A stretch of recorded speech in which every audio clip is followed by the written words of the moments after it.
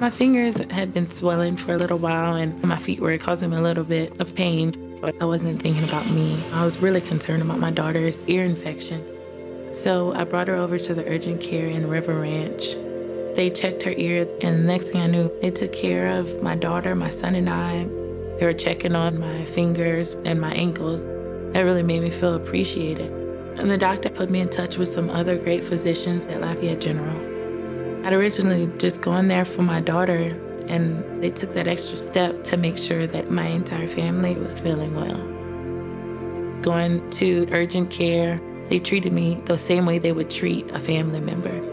And that's the type of care that I would want anybody to have. And to say that's just how they treat everyone, that's a really awesome practice. My name is Terysa Ridgeway, and Lafayette General is my choice.